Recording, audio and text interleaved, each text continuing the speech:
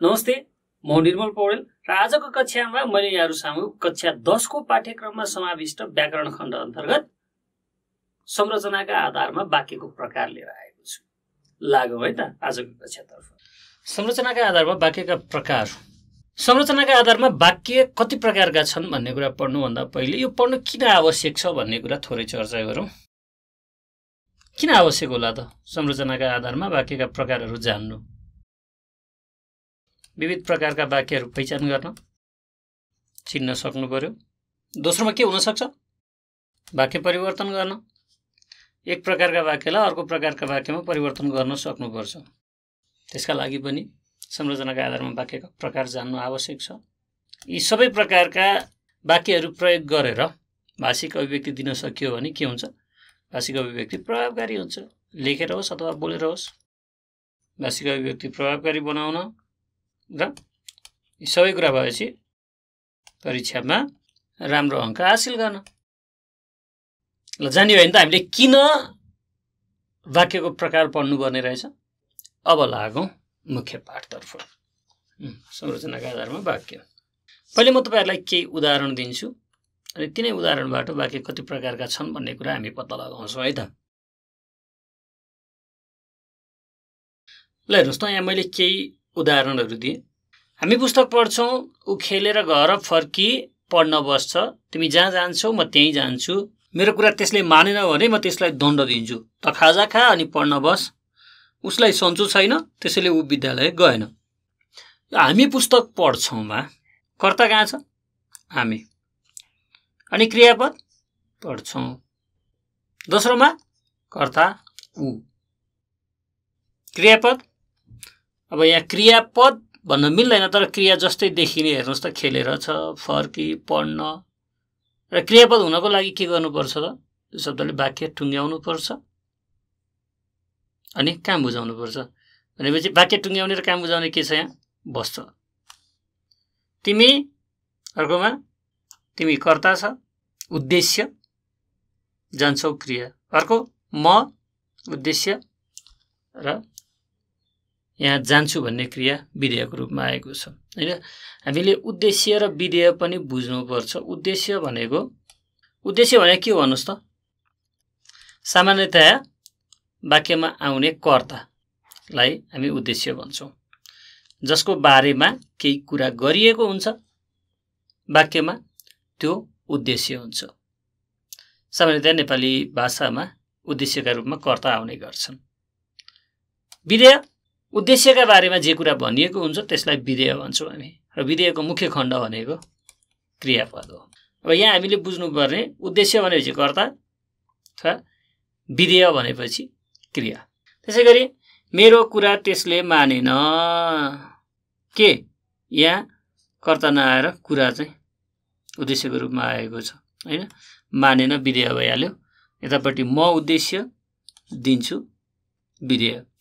त उद्देश्य खा विधेय। अब यहाँ पनि के छ त? त खाजा खा अनि पढ्न बस भन्दाखेरि त चाहिँ लुकेको छ। यो तँलाई हामीले फेरि दोहोऱ्याएनौँ एउटै वाक्य बनाउँदाखेरि नत्र भने यहाँ पनि के छ त? त भन्ने कर्ता अथवा उद्देश्य लुकिएको छ बस भन्ने क्रिया छ। उसलाई सन्चो छैन त्यसैले ऊ विद्यालय गएन। यहाँ पनि उद्देश्यका रूपमा ऊ नै आएको छ होइन? यहाँबाट हामीले बुझ्नुपर्ने कुरा भनेको यहाँ मैले दुई दुईवटा जोडामा बनाएको छु। यी दुईवटा अनि यी दुईवटा र यी दुईवटा। यिनीहरूको जोडा जोडा वाक्यलाई हेरौँ त। यी माथिका दुईवटामा हामी एउटै उद्देश्य छ एउटै मात्रै विधेय छ। ऊ एउटै उद्देश्य छ एउटै विधेय छ।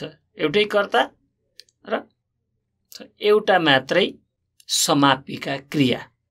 यदि कर्ता एकभन्दा बढी छन् भने पनि त्यो अवस्थामा एउटा मात्रै समापिका क्रिया छ भने त्यो सरल वाक्य हुन्छ। कुन वाक्य? सरल। तिमी जहाँ जान्छौ म त्यहीँ जान्छु। एकभन्दा बढी उपवाक्य छन् यहाँ। तिमी जहाँ जान्छौ म त्यहीँ जान्छु। अनि यिनीहरूलाई जोडेका छन् सापेक्ष संयोजकले जहाँ त्यहीँ भने मेरो कुरा त्यसले मानेन। भने म त्यसलाई दण्ड दिन्छु। एकभन्दा बढी उपवाक्य छन्? र तिनीहरूलाई सापेक्ष संयोजकले जोडेका छन् भने तिनीहरू के हुने भए? मिश्र वाक्य हुने भए। त्यसै गरी एकभन्दा बढी स्वतन्त्र उपवाक्य छन्? तिनीहरूलाई निरपेक्ष संयोजकले जोडेका छन्। अनि त्यसैले त खाजा खा आफैमा स्वतन्त्र छ एउटा पूर्ण छ वाक्य। त पढ्न बस। पूर्ण छ? त्यसलाई हामीले अनि भन्ने संयोजकले जोड्यौँ। यो निरपेक्ष संयोजक हो। उसलाई सन्चो छैन। आफैमा एउटा पूर्ण वाक्य छ। ऊ विद्यालय गएन यो पनि आफैमा पूर्ण वाक्य छ। यी दुईवटा र त्यसैले भन्ने निरपेक्ष संयोजकले जोडिदियो। त्यस कारणले गर्दाखेरि यो के भयो त? संयुक्त वाक्य। अब हामी स्पष्ट छौँ होइन? संरचनाका आधारमा कति प्रकारका वाक्य हुँदो रहेछन्? तिन प्रकारका। कुन कुन? सरल। एउटा सरल वाक्य भयो। अर्को मिश्र र अर्को संयुक्त। अब यिनीहरूका बारेमा विस्तारित रूपमा जानकारी लिउँ है त। कस्तो हो सरल वाक्य? अघि नै हामीले भनेका छौँ सरल वाक्य हुनको लागि के हुनुपर्छ? समापिका क्रिया एउटै मात्रै हुनुपर्छ। अब तपाईँ मलाई केही उदाहरण भन्दै जानुहोस् म लेख्दै जान्छु। एउटै मात्रै समापिका क्रिया। हामी खेल खेल्छौँ। हामी एउटा उद्देश्य छ खेल्छौँ। एउटा विद्या अथवा एउटा मात्रै समापिका क्रिया साथीहरू पोखरा घुमे पाल्पा पुगेर राम श्याम र हरि बजार जान्छन्। अब यिनीहरूमा हामी हेरौँ त एकपल्ट। हामी खेल खेल्छौँ। यसमा केही समस्यै छैन। छ। हामी भन्ने एउटा कर्ता छ। खेल्छौँ भन्ने एउटा समापिका क्रिया छ। अघि नै हामीले भनेका छौँ सरल वाक्य हुनका लागि एउटै मात्रै समापिका क्रिया हुनुपर्छ। त्यो वाक्यमा। यसमा एउटै मात्रै समापिका क्रिया छ। अब दोस्रोमा हेरौँ त यहाँ उद्देश्य के छ? साथीहरू। कर्ता काम गर्ने। यहाँ जति पनि कुराहरू भनिएका छन् यी सबै यिनै साथीहरूका बारेमै भनिएको। साथीहरू भन्ने एउटा उद्देश्य छ। अब यहाँ हेरौँ पोखरा घुमी। साथीहरू पोखरा घुमी। यहाँ एउटा क्रियायोगी आयो। हेर्दाखेरि क्रियापद जस्तो देखिन्छ। धातुमा प्रत्यय लाएर बनेको छ तर क्रियापद हो। होइन। यसले वाक्य पुरा गर्न सक्छ? सक्दैन। क्रियापद हुनको लागि प्रमुख शर्त के हो? त्यसले वाक्य पुरा गर्न सक्नुपर्छ। साथीहरू पोखरा घुमी। वाक्य पुरा भयो? भएन। यदि यही ठाउँमा सीताले पोखरा घुमी भनेको भए फेरि त्यही घुमी।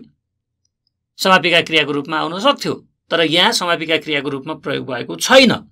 साथीहरू पोखरा घुमी यसले वाक्य पुरा गर्न सकेन। सके त सकेन। पाल्पा पुगेर यो पनि क्रिया जस्तो देखिए पनि यसले क्रियाको काम गरेको छैन। पुगेर वाक्य पुरा भयो पूर्ण विराम दिन सकिन्छ? सकिँदैन। होटेलमा जाँदा क्रिया जस्तो देखिन्छ तर क्रिया होइन। झमक्क साँझ परेको थियो। अब परेको थियोले वाक्य पुरा गर्न सक्छ। वाक्य टुङ्ग्याउने काम गरेको छ। त्यस कारणले गर्दा यो क्रियापद हो। यहाँ मैले तपाईँलाई स्पष्ट पार्न खोजेको कुरा के हो भने एउटै वाक्यमा जति पनि असमापिका क्रिया प्रयोग हुन सक्छन् हामी समापिका क्रियालाई कृदन्तीकरण गरेर असमापिका क्रिया बनाउन सक्छौँ। तर जतिसुकै असमापिका क्रिया प्रयोग भएको भए पनि वाक्य जतिसुकै लामो भएको भए पनि यसैलाई तपाईँ यसै गरी लम्ब्याउँदै लम्ब्याउँदै एक पेज लामो वाक्य बनाउन पनि सक्नुहुन्छ। तर बुझ्नुपर्ने कुरा के हो भन्दा यहाँ प्रयोग भएको समापिका क्रिया एउटा मात्रै छ। उद्देश्य एउटा मात्रै छ। एउटा मात्रै उद्देश्य एउटा मात्रै विधेय छ। त्यस कारणले गर्दाखेरि यो के भयो त? सरल वाक्य भयो। सरल वाक्यमा एउटा मात्रै समापिका क्रिया प्रयोग भएको हुन्छ। असमापिका क्रिया जतिसुकै पनि प्रयोग हुन सक्छन्। रामश्याम र हरि बजार जान्छन्। अब यहाँ हेर्नुहोस् है अलिकति हेर्दाखेरि तपाईँले चाहिँ तपाईँलाई झुक्याउन सक्ने ठाउँ कहाँ छ भन्दा र भन्ने संयोजक आएको छ। खासमा सरल वाक्यमा संयोजक त प्रयोग गरिँदैन। यहाँ एकभन्दा बढी उद्देश्य छन्। कर्ताहरू राम पनि कर्ता श्याम पनि कर्ता हरि पनि कर्ता। समापिका क्रिया कतिवटा एउटा मात्रै। यदि र भने निरपेक्ष संयोजकले दुईवटा वाक्यलाई जोडेको छ त्यहाँ दुईवटा समापिका क्रिया छन् भनेदेखि संयुक्त वाक्य हुन्छ। तर यहाँ त त्यो काम गरेको छैन। यो रले चाहिँ के गरेको छ भन्दा यहाँ नामलाई जोड्न आएको छ। शब्दलाई जोड्नको लागि मात्रै र भन्ने संयोजक आएको छ। त्यस कारणले गर्दाखेरि यो संयुक्त वाक्य नभएर के हो त? सरल वाक्य हो। राम श्याम र हरि एकभन्दा बढी छन्। कर्ता उद्देश्य तर क्रियापद समापिका क्रियापद एउटा मात्रै छ। त्यस कारणले गर्दाखेरि यो सरल वाक्य हो। अब सरल वाक्य चिन्न सकिन्छ होइन? र सरल वाक्य बनाउन पनि सकिन्छ नि। चिनिसकेपछि बनाउनलाई पनि समस्या भएन। तपाईँले जहिले पनि मस्तिष्कमा सुरक्षित राख्नुपर्ने कुरा भनेको सरल वाक्य हुनको लागि एउटा वाक्यमा एउटा मात्रै समापिका क्रिया हुनुपर्छ। अब जाउँ मिश्र वाक्यतर्फ। कस्तो खालको वाक्य मिश्र वाक्य हो त? अघि नै पनि हामीले उदाहरण हेरिसकेका छौँ। जान्दछौँ हामी मिश्र वाक्यको बारेमा। जहाँ रवि पुग्दैनन् त्यहाँ कवि पुग्छन्। अब यी वाक्यहरूमा हेरौँ त यहाँ मैले तिनवटा वाक्य लेखेँ। जहाँ रवि पुग्दैनन् त्यहाँ कवि पुग्छन्। यो एउटा वाक्य हो। यसमा कतिवटा उपवाक्य छन्? दुईवटा।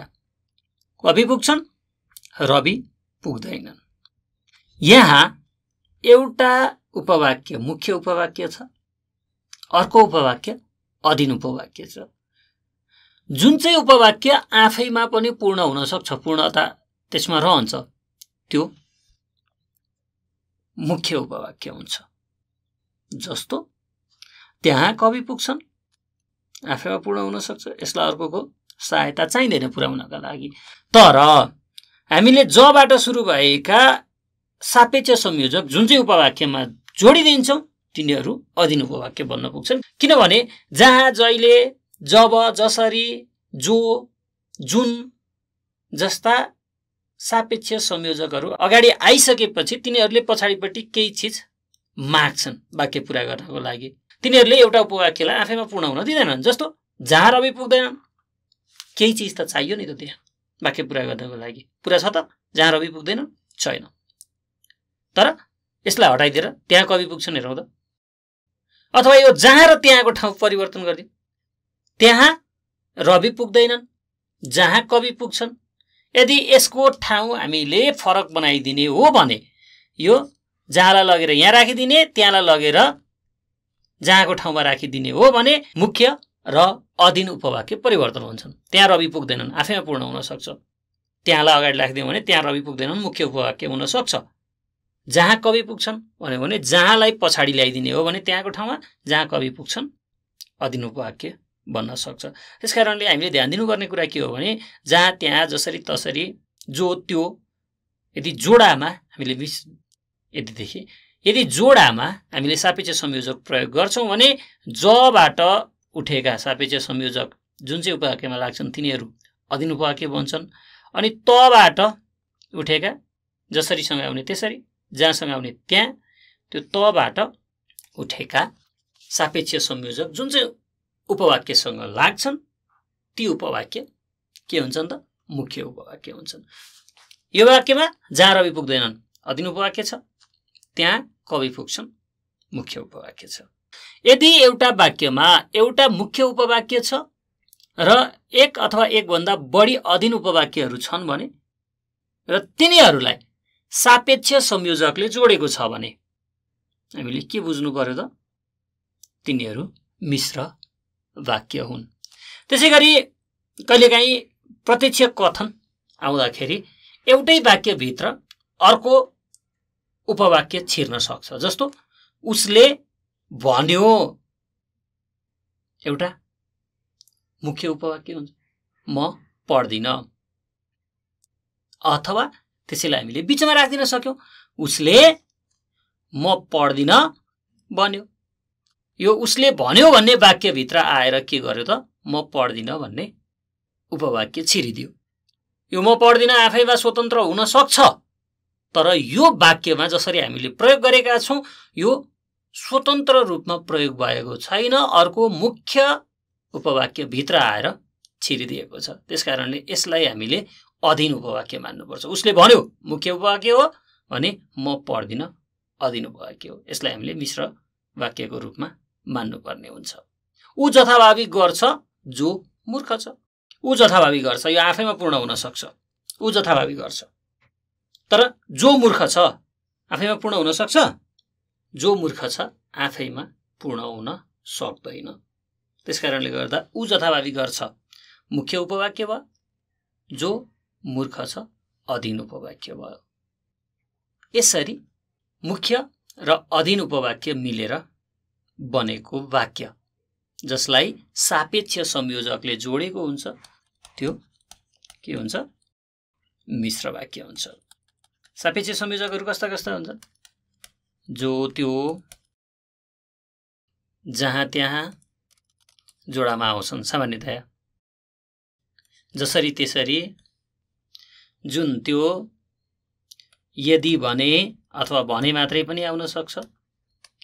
यसरी सामान्यतया जोडामा आउने र कहिलेकाहीँ एक्लै आएर पनि दुईवटा उपवाक्यहरू मुख्य उपवाक्य र अधीन उपवाक्यलाई जोड्न सक्ने संयोजक भनेका के हुन् त? सापेक्ष संयोजक हुन्। अनि अधीन उपवाक्य वाक्यको सुरुमा आउन पनि सक्छ। जहाँ रवि पुग्दैनन् त्यहाँ कवि पुग्छन्। यो सुरुमा आएको छैन यसमा उसले म पढ्दिनँ भनेमा बिचमा आएको छ। ऊ जथाभावी गर्छ जो मूर्ख छ अन्त्यमा।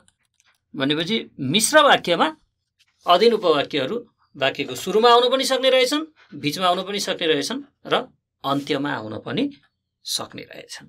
अब स्पष्ट छ होइन मिश्र वाक्यको बारेमा? मिश्र वाक्य बनाउन सकिन्छ। चिन्न पनि सकिन्छ बनाउन पनि सकिन्छ। ल अब जाउँ संयुक्त वाक्यमा। कस्तो खालको वाक्य संयुक्त वाक्य हो त? संयुक्त वाक्यकै केही उदाहरण हेरौँ है त? अनि त्यसपछि संयुक्त वाक्यका बारेमा हामी जानकारी लिनेछौँ। र यी उदाहरणहरूमा हेरौँ त। उनीहरू खेल खेल्छन् अनि घर फर्कन्छन्। उनीहरू खेल खेल्छन् अनि घर फर्कन्छन्। यो आफैमा एउटा स्वतन्त्र वाक्य बन्न सक्छ सक्छ होइन? उनीहरू खेल खेल्छन्। उनीहरू घर फर्कन्छन्। यी दुईवटा स्वतन्त्र उपवाक्यलाई अनि भन्ने निरपेक्ष संयोजकले जोडिदियो। ऊ न आफू पढ्छ न अरूलाई पढ्न दिन्छ। न न। यी दुईवटा नले यसको अर्थलाई नकारात्मक बनाइदिने काम पनि गरे र जोड्ने काम पनि गरे। न न। ऊ न आफू पढ्छ न अरूलाई पढ्न दिन्छ। यिनीहरू पनि निरपेक्ष संयोजक हुन्। साथी राम्ररी पढ नत्र गाली खान्छौ। दुईवटा वाक्य छन्। साथी राम्ररी पढ। एउटा वाक्य। अर्को तिमीले गाली खान्छौ या तिमी लुकेको छ। हामीले प्रयोग गरेका छैनौँ। साथी राम्ररी पढ। तिमीले गाली खान्छौ। एउटा राम्ररी पढ भन्ने आफैमा स्वतन्त्र वाक्य छ। अर्को तिमीले गाली खान्छौ भन्ने आफैमा स्वतन्त्र वाक्य छ। यी दुईवटा स्वतन्त्र वाक्यहरू जब यहाँ एउटा वाक्यमा आए तिनीहरूलाई हामीले उपवाक्य भन्नुपर्ने हुन्छ। दुई अथवा दुईभन्दा बढी स्वतन्त्र उपवाक्यलाई यदि निरपेक्ष संयोजकले जोडेर एउटै वाक्य बनाउँछ भने त्यो के हुन्छ? संयुक्त वाक्य हुन्छ। संयुक्त र मिश्र वाक्य बिचको फरक चाहिँ छुट्याउन सक्नु पर्यो है। संयुक्त वाक्यमा दुई वा दुईभन्दा बढी स्वतन्त्र उपवाक्य हुन्छन् र तिनीहरूलाई निरपेक्ष संयोजकले जोडेको हुन्छ। निरपेक्ष संयोजक जस्तै र अनि पनि नत्र किनकि त्यसैले आदि आदि अन्य धेरै हुन्छन् है? यस्ता खालका निरपेक्ष संयोजकहरूले यदि दुई वा दुईभन्दा बढी स्वतन्त्र उपवाक्यलाई जोडेका छन् भने र एउटा वाक्य निर्माण भएको छ भने त्यसलाई हामी के भन्छौँ त? संयुक्त वाक्य भन्छौँ। स्पष्ट छ? छ होइन? अब तपाईँहरूले संयुक्त वाक्य पहिचान गर्न पनि सक्नुहुन्छ र संयुक्त वाक्यलाई अन्य वाक्यमा अन्य वाक्यलाई संयुक्त वाक्यमा परिवर्तन गर्न पनि सक्नुहुन्छ। सकिन्छ नि होइन? कि सकिँदैन? पक्कै पनि सकिन्छ। सकिन्छ कि सकिँदैन? अब केही अभ्यास गरेर हेरौँ। वाक्य परिवर्तनका अभ्यास। ऊ पुस्तक पढेर झोलामा राख्छ। यसलाई मिश्र वाक्यमा बदलौँ ल। मिश्र वाक्यमा बदल्न सकिन्छ? भन्नुहोस् त। ऊ पुस्तक पढेर झोलामा राख्छ। अब यहाँ हामीले के गर्नु पर्यो? दुईवटा उपवाक्य बनाउनु पर्यो। दुईवटा उपवाक्य बनाउन के गर्नु पर्यो त? असमापिका क्रियालाई समापिका बनाउनु पर्यो। कसरी? ऊ पुस्तक पढ्छ भन्न सकिन्छ होइन? पढेरलाई पढ्छ बनायो भने के गर्न सक्छौँ त हामी? उपवाक्य निर्माण गर्न सक्छौँ। ऊ पुस्तक पढ्छ। अब छुट्टा छुट्टै बनाउने भएदेखि फेरि ऊ झोलामा राख्छ भन्न हुन्थ्यो। तर त्यो पर्दैन।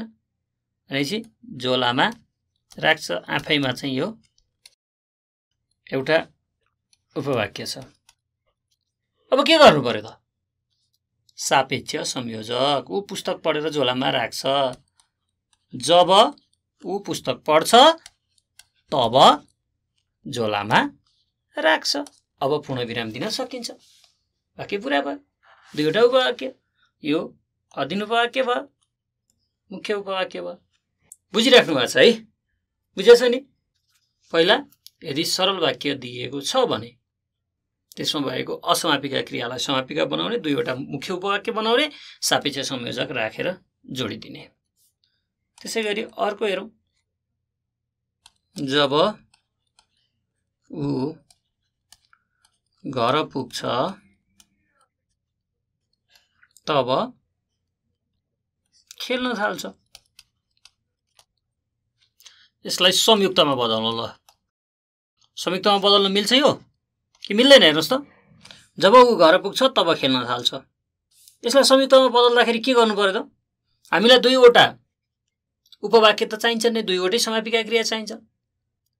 यो सजिलो छ ऊ घर पुग्छ ऊ खेल्न थाल्छ। हामीलाई नचाहिने कुरा के भयो संयुक्त वाक्यमा? सापेक्ष संयोजक चाहिन्छ? चाहिँदैन नचाहिने कुरालाई किन ल्याउने? हटाइदिउँ। ऊ घर पुग्छ। एउटा वाक्य भयो। ऊ खेल्न थाल्छ तर यहाँ हामी एउटै वाक्य बनाउँदैछौँ त्यस कारणले ऊ दुई ठाउँमा आवश्यक पर्दैन। अब यिनीहरूलाई जोड्नु पर्यो। केले जोड्ने? संयुक्त वाक्य निर्माण गर्नको लागि के गर्नुपर्छ अरे? निरपेक्ष संयोजक प्रयोग गर्नुपर्छ। ऊ घर पुग्छ अनि खेल्न थाल्छ। निरपेक्ष संयोजक हो नि अनि? ल दुईवटा स्वतन्त्र उपवाक्यलाई अनि भन्ने निरपेक्ष संयोजकले जोडिदियो। त्यसकारण यो के भयो त? संयुक्त वाक्य भयो। उनी जहाँ जान्छन् म त्यहाँ जान्छु। यसलाई सरलमा बदलौँ है त? उनी जहाँ जान्छन् म त्यहाँ जान्छु। सरलमा हामीले के गर्नुपर्छ? एउटा मात्रै समापिका क्रियाको प्रयोग गर्नुपर्छ। त्यहाँ हामीलाई संयोजक आवश्यक हुँदैन। त्यहाँ जहाँ हामी यसलाई हटाइदिन्छौँ। यहाँ जान्छन् भन्ने समापिका क्रिया छ। अब अलिकति अप्ठ्यारो अवस्था आइपऱ्यो। के गर्ने त? उनी जहाँ जान्छन् म त्यहाँ जान्छु भन्नुको मतलब जहाँ त्यहाँले के गर्छ ठाउँलाई सङ्केत गरेको छ हो। किन अब हामीले यो जान्छिनलाई असमापिका बनाउनु पर्यो। जहाँ त्यहाँले ठाउँलाई सङ्केत गर्छन् जान्छिनलाई असमापिका क्रियामा बदल्नु पर्यो। भनेपछि कसरी गर्न सकिएला त? उनी जान्छिनलाई गएको बनाइदिउँ। गएको जहाँ त्यहाँ ठाउँलाई बुझाउँछ भनेको छौँ हामी। ठाउँमा म जान्छु। ठिक छ? अथवा म उनी गएको ठाउँमा जान्छु। जे गरे पनि भयो। उनी गएको ठाउँमा म जान्छु अथवा म उनी गएको ठाउँमा जान्छु। समापिका क्रिया एउटै छ। यसको अर्थ पनि परिवर्तन भएको छैन। छ त? छैन। यसरी हामीले एक अर्कामा सरललाई मिश्रमा बदल्न पनि सक्छौँ संयुक्तमा बदल्न पनि सक्छौँ। मिश्रलाई संयुक्त सरल दुइटैमा संयुक्तलाई मिश्र सरल दुईवटैमा यिनीहरूलाई एक अर्कामा परिवर्तन गर्ने अभ्यास हामी यसरी गर्न सक्छौँ। स्पष्ट छ होइन? सकिन्छ नि गर्न? अब पालो गृह कार्य दिने। ल तपाईँलाई गृह कार्य तपाईँको पाठ्य पुस्तकको पृष्ठ सङ्ख्या एक सय तेत्तिस र एक सय चौतिस। यिनीहरूमा भएका व्याकरणको है फेरि अरू होइन व्याकरणको अभ्यास एक गर्नुहोस्।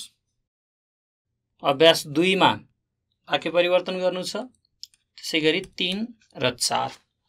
यति चारवटा अभ्यास गर्न सक्नुभयो भने तपाईँले संरचनाका आधारमा वाक्य पहिचान गर्न पनि सक्नुहुन्छ। ती वाक्यहरूलाई प्रयोग गरेर आफ्नो अनुभव अथवा कुनै घटना योजना वर्णन गर्न पनि सक्नुहुन्छ। सापेक्ष र निरपेक्ष संयोजकको सही प्रयोग गर्न पनि सक्नुहुन्छ र वाक्य परिवर्तन गर्न पनि सक्नुहुन्छ।